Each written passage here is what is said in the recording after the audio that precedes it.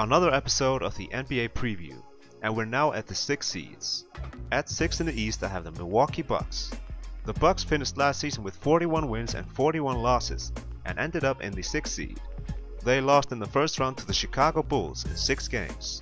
The best results the Bucks have had came in 1971, when they won the NBA championship only 3 years after the founding of the Milwaukee Bucks. They were led by Oscar Robertson and Lou Alcindor, who a day after the title changed his name to Kareem Abdul-Jabbar. Let's see the moves the Bucks made this summer. They drafted Rashad Vaughn at 17 in the draft. Other players they got were Greg Monroe, Chris Copeland, and Greivis Vasquez. Players they lost were Zaza Pachulia, Jared Dudley, and Ersan Ilyasova. The thing that clearly stands out is that they got a quality center in Greg Monroe. Let's check out the team rotation. At center they have their new addition Greg Monroe. The Bucks lacked scoring inside, and Greg will be able to fill that void to a certain extent. He's also a very good rebounder, and that will help the Bucks, who are 24th in the league in rebounding. Only thing that could hurt them is that he's not much of a shot blocker, but he takes up space in the paint. He'll be backed up by John Henson, a long player who can block shots and get rebounds. At power forward is Jabari Parker, who's basically still a rookie. He tore his ACL after only 25 games. Very fluid scorer who can see time at the 4 as well as the 3. He could be backed up by Miles Plumlee and Chris Copeland. Then the Greek freak, Giannis Antetokounmpo, at small forward. He's been improving and I expect him to improve even more. He averaged 13 points and 7 rebounds last season, while improving his field goal percentage and free throw percentage considerably. He can have some crazy plays, like last season when he euro stepped from the 3 point line. Only 20 years old. Future all-star right there. Then there's Khris Middleton, a good young shooting guard. He averaged 16 points in the playoffs and shot 41% from 3 in the regular season. Backing him up is OJ Mayo, who apparently is in shape right now. He should be able to give them a boost off the bench. Then there's Jerryd Bayless behind those two. At point guard there's the former Rookie of the Year Michael Carter Williams, who came from the Sixers via trade at the deadline. He's then backed up by Greivis Vasquez, a solid backup point guard. This team is the future in the East. Still very young, but a lot of upside. Especially with Giannis and Jabari Parker. They have the potential to be multiple All-Stars in this league. Then there's MCW and Khris Middleton, who also have great potential.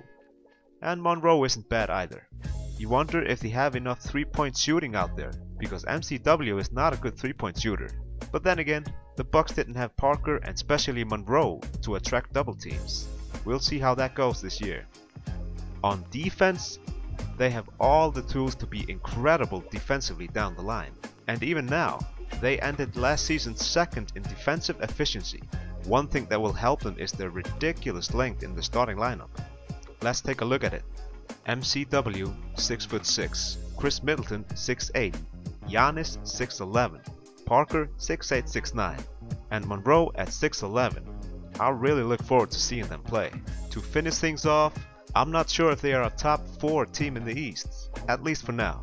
But I can see this team 2 to 3 years from now in the conference finals.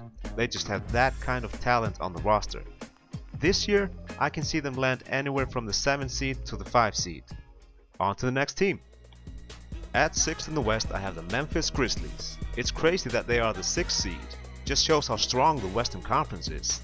The Grizzlies finished last season in the 5th seed with 55 wins and 27 losses, only a game out of the 2nd seed.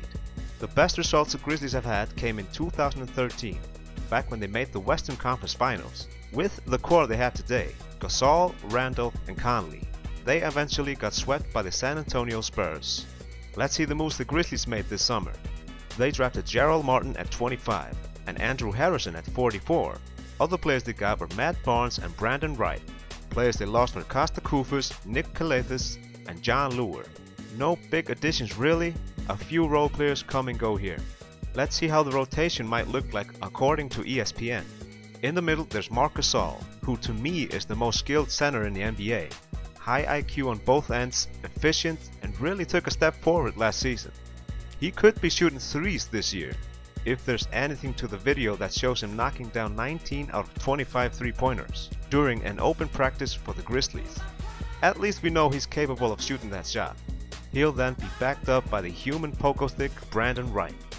Then at power forward there's Z-Bo, who just turned 34, but it's okay because he has that old man game, so he hasn't declined much. I'm pretty sure when he goes to the bench that Jeff Green will get a lot of those minutes at the 4, but Jeff will start at the 3. He came from the Celtics in a trade, averaged 13 points in 30 minutes. I think he can contribute more in the coming season. He's gonna be important for the Grizzlies' success.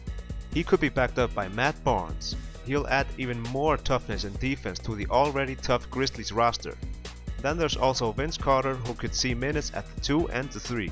In the backcourt there's Courtney Lee, who'll bring defense and three-point shooting, with Tony Allen behind him, who was on last year's NBA All-Defensive First Team.